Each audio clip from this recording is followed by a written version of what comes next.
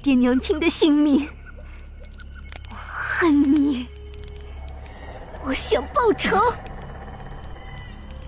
嗯，涅槃师收割活人性命，来修习神通和续命，咱觉得天经地义。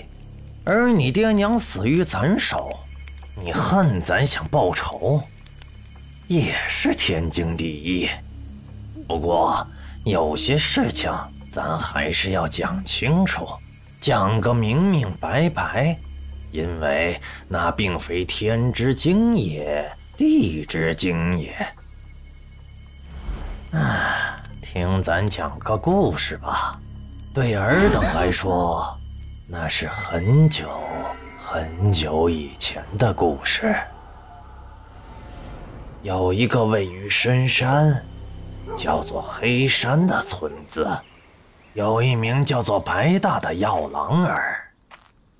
白大 本是一个连打字都识不得几个的憨人，但常年见村中有病无医，即便是风寒也只能跪地求天。本性善良的他，便花费半生习了字，救治了不少人，也被不少人尊敬着。不用谢，多亏了你呀。白大有一老一妻一子，还有位嫁到隔壁村的妹妹，他们一家都住在黑山村外。那一年，黑山村出现了一些异常，白大觉得是一种疫病。村里的每一户人家都出现了身体某部分消失的病例。那时他们还不晓得。不对，直到现在，黑山村也不晓得那次疫病是咱的神通所致。以活人的生命修行变强，这便是涅槃师的大道。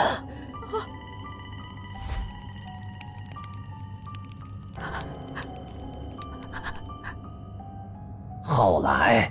药郎儿发现有强身作用的草药可以缓解此疫病，他把周围所有山都走遍了，搜集了所有，但还不够。被疫病所苦的村民太多，他去了更远的山中去搜寻。这一去就是半年，但他自己都没料到，自己真的得到了解决此疫病的妙药。他激动万分的归来了，本以为时隔半年，历经艰险，总算能换来大家的安宁。可回到家，他看到的却是 娘、媳妇、儿子，我回来了。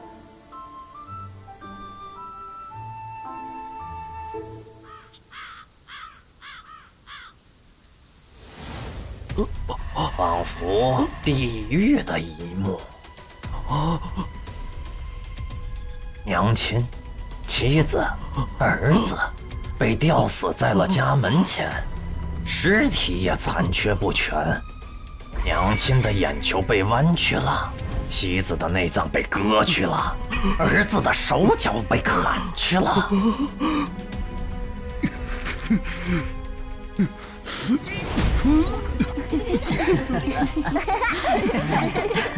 为什么？这是为什么？他第一个想到的是山贼，或者是路过的军兵。可是啊，他村中还有些良知的孩子告诉他，这些全都是。黑山村村民所为，这这原因只有两个：愚昧和妒忌。因为白大一家住在黑山村外，跟其他村民饮用不同水源，所以他们家成了唯一一户没有感染到疫病的另类。在白大消失的半年里，村里开始有了一些流言。太不公平了，定有就是，这疫病为什么没有影响到白大一家？是不是他们家隐瞒了什么？你看他们健康的手脚，凭什么？听说白大经常研究些怪药，还会拿动物验药。你说咱们这样，会不会是因为白大这么久没回来，估摸着是死在兵荒马乱的山外了，只剩那几位老残和母小了？哎，听说了吗？听说吃掉白大他家人的肉，咱们消失的部分就会长出来。是吗？啊，是这样我也听说过，吃啥补啥。嗯，他们家是唯一一家没有出现这病的，肯定有古怪。是啊，凭什么我这个样子吃饭都成问题，他们却整天无忧无虑的？凭什么？反正白大一定死在外面，而我们 也是被逼无奈呀。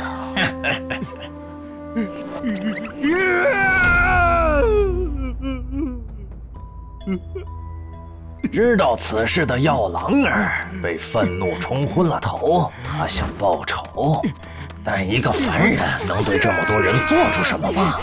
他拼尽全力，也不过换来了几乎当场死亡的重伤。他逃了出来。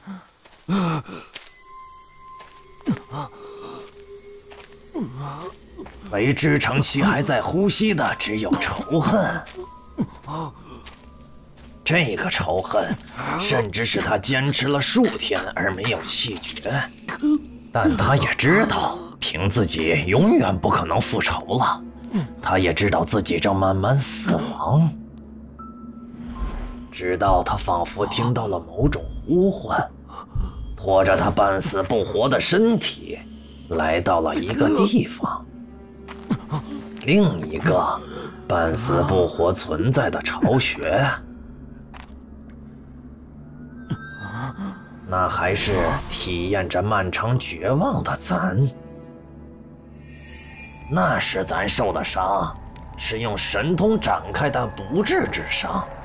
咱已经抱着可能上万年也无法醒来的心理准备，几乎无尽的黑暗在等着咱。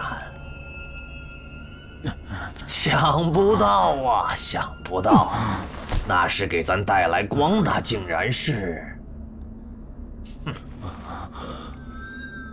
他。